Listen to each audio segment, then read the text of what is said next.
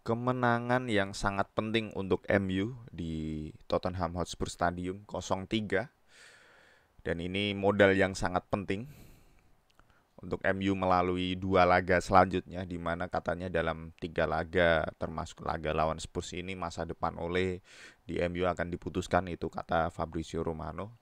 Dan di sini oleh membuat perubahan yang cukup signifikan terutama dari shape timnya terutama dari shape MU uh, di sini oleh memainkan tiga back tiga center back terbaik oleh itu dia mainin Harry Maguire, Varane, Lindelof Eh, diapit oleh Shaw dan AWB. Di depannya ada McTominay, Bruno dan Fred dan juga memainkan dua striker di situ. Keuntungannya memainkan formasi seperti ini adalah Spurs uh, yang pertama adalah Spurs kaget tentunya. Aku rasa di match ini Nuno nggak expect MU bermain di tiga back karena ini pertama kalinya MU pakai tiga back setelah lama banget gak pakai itu kalau nggak salah. Si komentatornya bilang dua tahun lalu kalau eh Februari last year itu berarti 2020 itu terakhir MU pakai tiga back sejak awal gitu kan. Dan tentu saja ini hal yang tidak di expect oleh Nuno dan ini kelihatan dari permainan Spurs yang malam ini harus diakui sangat buruk. Nol shot on target itu itu menurutku sangat buruk. Tapi tapi kenapa bisa terjadi hal seperti itu? Karena Spurs hanya bisa passing sideways atau passing uh, ke samping. Gak ada passing penetrasi. Di sini ya karena emang tengah MU itu sangat padat. Ketutup Ronaldo, Cavani, Bruno, uh, McTominay dan juga Fred opsi mereka hanya passing ke sayap. Di mana di situ hanya ada satu wingback. Pun di sini pun seperti itu. Uh, main lewat tengah benar-benar nggak bisa. Nggak bisa MU main lewat tengah. Sorry, nggak bisa Spurs main lewat tengah. Bisanya hanya lewat samping. Gitu terus, sideways. Pun ketika lewat sayap, nggak bisa uh, melakukan akselerasi berlebih uh, sorry penetrasi gitu. Emerson Royal ketutup uh, Shaw untuk uh, melakukan crossing ke byline gitu kan. Uh, Fred pun menutup jalurnya untuk uh, Lo Celso kalau nggak salah. Jadi opsi passing Emerson di sini hanyalah Harry Kane dan itu sering sering banget terjadi. Jadi gitu terus ya. Uh, passing sideways ke sayap di sayap buntu balik lagi ke center back center back coba ke sayap lain gitu terus. Gitu terus muter jadi permainan Spurs sama sekali nggak efektif dan inilah mungkin salah satu alasan para fans Spurs ngebu para pemainnya dan juga ngebu uh, Nuno gitu. Karena bosan ya karena bosan ini ini yang sering kita lihat ketika MU melawan tim yang bertahan dengan formasi 5 back kayak lawan Wolves ataupun Leicester gitu gitulah di mana kita uh, para fans MU ngelihat MU juga passing sideways terus gitu kan. Dan itu itulah yang dialami Spurs ketika lawan MU sekarang. Gol per eh dan sorry uh, kok gol pertama ini? Nah ini keuntungan juga dengan tiga back yaitu ketika AWB kehilangan bola di area advance di area musuh. Di mana ini bisa terjadi ya dan sering sekali terjadi. AWB kehilangan bola di sisi musuh ketika MU bermain dengan 4-2-3-1 seperti yang udah udah gitu kan. Ketika AWB kehilangan bola, di situ posisi Lindelof udah ngepressing uh, sayap ataupun striker musuh di mana ninggalin Harry Maguire sendirian. Dan ini sering banget bikin apa ya istilahnya? Bikin MU kebobolan. Tapi dengan tiga back ini, ketika AWB kehilangan bola di situ ada Lindelof yang siap ngover, tapi belakangnya Lindelof pun masih ada Varan dan juga Harry Maguire dan itu memberikan uh, proteksi lah istilahnya untuk untuk lini tengah MU gitu kan. Jadi uh, kebiasaan AWB yang sering kehilangan bola di area musuh itu bisa di cover gitu kemudian ada gol MU gitu kan yang yang ini adalah menurutku dua koneksi dua Portugis di sini Bruno dan Cristiano di mana umpan yang sangat bagus dan volley yang dari angle yang sangat sempit dan itu masuk. Aku jarang ngelihat gol-gol volley di MU seperti ini gitu ya sejak zaman-zaman Van Persie gitu kan.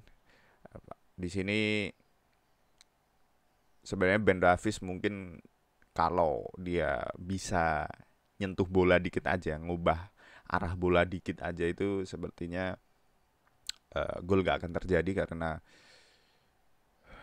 ada sedikit intercept di situ. Cuma di sini passing Bruno sangat bagus Ben Davis nggak sampai pun ketika udah melompat dan gol yang sangat cantik untuk Ronaldo. Gol kedua MU eh, Bruno eh, di mana dia berhasil ngerebut bola dari Skip ya. Eh, di sini Oliver Skip ke pressing oleh dua pemain Ronaldo dan juga Bruno. Dan ini bikin counter attack untuk Edinson Cavani. Dan ini adalah menurutku counter attack adalah suatu kekuatannya MU gitu.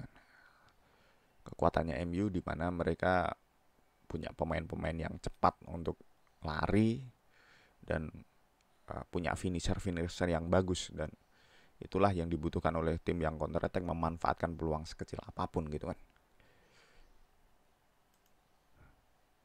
Nah, kemudian ada gol ketiga MU di mana kita bisa lihat Rashford yang sangat kosong. Nggak ada pemain Spurs yang ngawal dia bahkan. Aku aku juga nggak ngerti gitu. Kenapa Rashford bisa kosong? Kalau kita lihat beberapa detik, detik sebelumnya Lingard turun sangat jauh ke bawah dan ini berhasil narik Christian Romero Christian Romero ketarik oleh Lingard yang di situ Romero nggak ngehasilin apa-apa, Lingard pun berhasil ngasih umpan ke Fred. Karena Romero ketarik oleh Lingard, di mana Lingard di situ gantiin Cavani kalau nggak salah ya. Yang bermain di posisi striker berarti kan Lingard eh, di sini yang awal dia berarti adalah seorang center back. Kita bisa lihat di sini Christian Romero masih ngawal Lingard. Di sini posisi Romero ada di luar dari Emerson Royal ini yang bikin Romero nggak ada di sampingnya Rashford untuk istilahnya ngasih intercept ataupun clearance dari uh, umpannya Matic gitu ya. Dan di sini Rashford bener-bener kosong. Kita lihat Romero kayak udah udah lelah lah gitu di sini dari bahasa tubuhnya gitu. ya gol gol bonus untuk Manchester United. Uh, pemain Spurs mungkin di sini juga udah istilahnya udah kena mentalnya gitu kan di situ mereka tinggal lima menit ketinggalan dua gol udah konsentrasi udah hilang mungkin apalagi ditambah di bu supporter sendiri sangat-sangat disayangkan gitu cuma uh, di sini yang jadi pertanyaan apakah MU akan terus bermain seperti ini terus bermain dengan uh, tiga back formasi tiga back uh, dalam kenyataannya 5 back gitu kan. Apakah MU akan terus bermain seperti ini? Menurutku ketika hasilnya bagus kenapa nggak dicoba gitu kenapa nggak dipakai terus ketika hasilnya bagus toh nyatanya ini emang memberikan dampak yang oke okay, gitu lah. Ya mungkin aja mungkin aja ada faktor di mana Spurs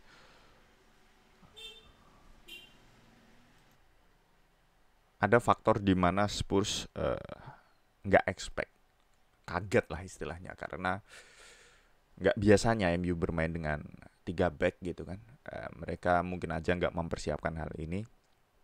Tapi ketika nanti lawan Atalanta ataupun City tiga back ini di, kalau dicoba dan berhasil berarti memang mungkin inilah shape yang bagus untuk MU tapi dengan adanya shape ini MU mengorbankan banyak sekali winger gitu kan. MU udah beli Sancho mahal tapi apakah dia masuk dalam sistem seperti ini gitu. Eh, MU punya Greenwood yang performa awal musim ya meskipun dikatakan orang-orang maruk ataupun sangat individualis tapi nyatanya golnya ya cukup oke. Okay. dan apakah dia masuk di sistem ini? Mungkin aja masuk ketika mereka dipaksa bermain sebagai striker gitu kan. Greenwood bisa bermain di situ.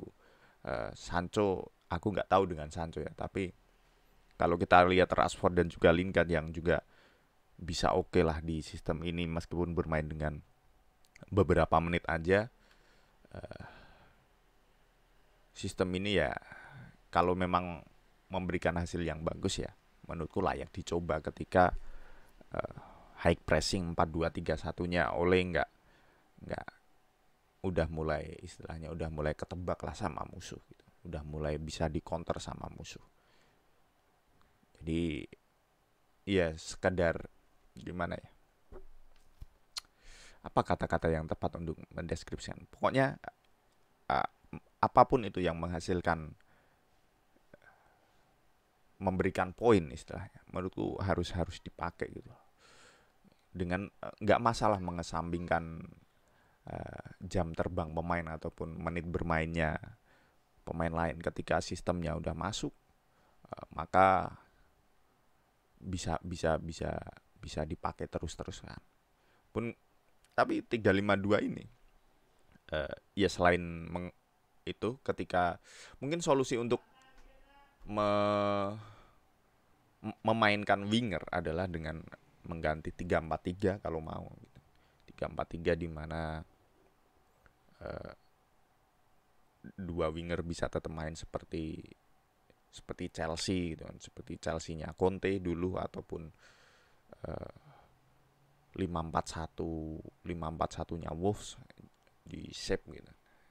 Mereka bisa tetap memainkan winger di situ dan juga satu striker.